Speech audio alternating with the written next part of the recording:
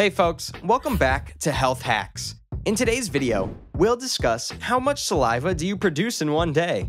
So let's begin. The human body can be both fascinating and disgusting at times, and the mouth is underappreciated for how strange and wonderful it can be.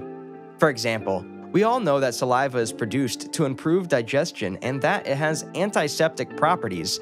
Saliva is a chemical breakdown of our food that occurs as we chew. We couldn't taste our delicious food if our mouths weren't covered in saliva. But did you know that the average human produces enough saliva to fill two Olympic swimming pools in their lifetime? That's an enormous amount of saliva. Spitting on someone is considered both disrespectful and offensive in many cultures. But you can always choose to spit on the mic to become a legend. Anyways, according to statistics, we produce nearly 300 liters per year, or about a liter per day. Now, that's a lot to swallow. That was the video, guys. Leave a like and comment to show your love and support.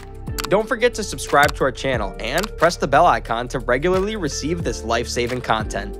Thanks for watching.